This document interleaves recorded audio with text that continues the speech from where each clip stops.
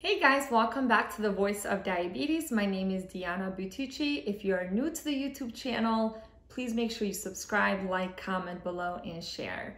Today we are going to talk about COVID-19 vaccine. That's the latest. Um, you've probably been hearing about it, seeing on the news. So today we're gonna get straight into talking about it and at the end, we will also discuss if you who may have diabetes need to get the vaccine. Before we talk about that, I do want to talk to you about what vaccines are. Why are what are they? Why do we need them?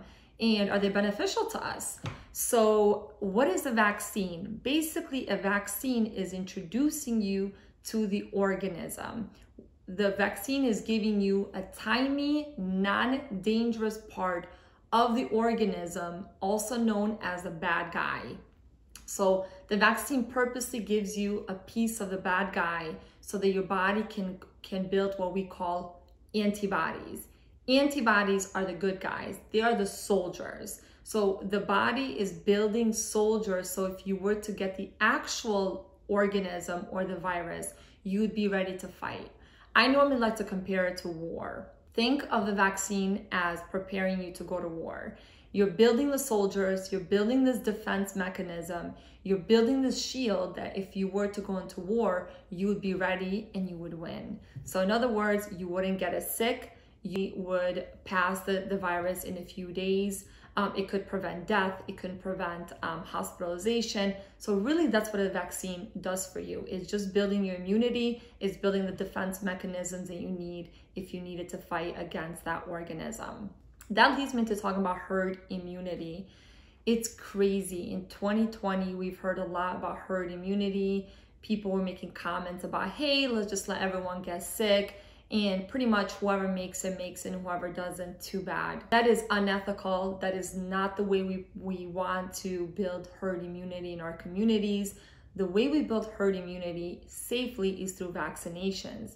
So the way I like to, to tell patients is let's just talk about a family of seven. I have six family members who got the vaccine against this particular virus, let's just say COVID-19.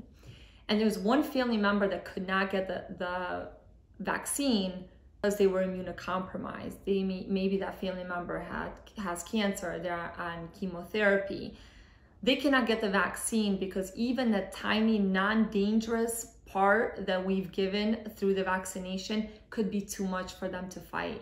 Um, their immune system is just so immunocompromised that even that non-dangerous part can make them very ill. Therefore, we, we say we're not going to give those very immunocompromised people, but what we're going to do is we're going to build herd immunity in the community. Meaning, if those six family members got vaccinated, they are going to protect a seventh family member who could not get vaccinated for X amount of reasons.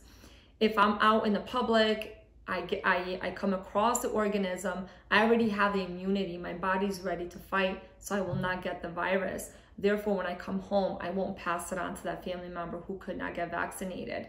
That's the same thing in the community. If majority of the people in the community are vaccinated, we're not only protecting ourselves, but we're protecting people that could not get the vaccine, the immunocompromised in this case. We have two pharmaceutical companies, very experienced, um, Moderna and the Pfizer pharmaceutical company, who have the vaccine out. It's being administered right now to the frontline workers and also people in long-term facilities because that those two particular groups are at higher risk for getting the, the virus. Obviously, we're in constant contact with people who have the virus, therefore that puts us at highest risk. Both of the pharmaceutical companies, both the Moderna and the Pfizer, have a two-phase dose vaccine, meaning you get one shot today and then in a few weeks you get the second dose. Both of these companies stated that you're only getting, you're starting to build some protection with the first dose. You're getting the actual benefit from the second dose. So if you've gotten just that first one, you're probably not going to get much of protection. When you get the second vaccine, then you're really getting most of the protection that the vaccine is intended to do. There is another vaccine in phase three in clinical trials right now that is going to be a one-shot dose. I'm hoping that that gets approved uh, because we know that compliance is much better when people only have to get one shot versus going back for a second shot. Uh, but also the more vaccines we have out to the public, the better it is, the quicker we can get everyone vaccinated in the nation, and hoping that we can put uh, COVID 19 behind us. Uh, right now, we have over 350,000 lives that have been taken away because of COVID 19. We know how serious this is. Personally, I had two family members who had COVID 19. It was not fun, it was very scary. I can't even imagine for the families that have gone through similar situations but may have lost family members. It's devastating. Um, I'm hoping that we can put this virus behind us and we can lead more normal lives. Therefore, really stopping the pandemic is going to take that we take all measures uh, that we have available to us.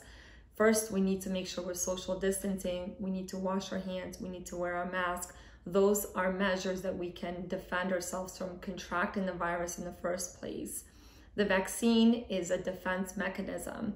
Therefore, if you are a diabetic and you're watching this video, I encourage everyone to get the COVID-19 vaccine, whether it's Pfizer, whether it's Moderna. We really need to build the, the immunity that we need to fight against this we are at war with COVID 19 and we are going to win this. So we just have to be mindful. We have to do everything that we're being told to do by the scientists. We know the science has never let us down before. We have all the pumps, all the sensors, insulins, medications we need because of science.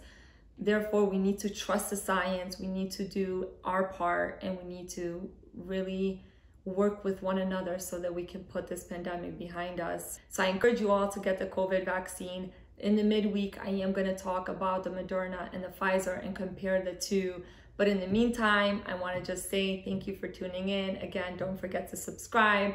If you have any questions, let me know. Um, and I'll see you guys all next week. Take care, stay well, stay safe. And I'm hoping for a very good 2021 full of positive energy, health, and safety. See you guys all next time. Take care.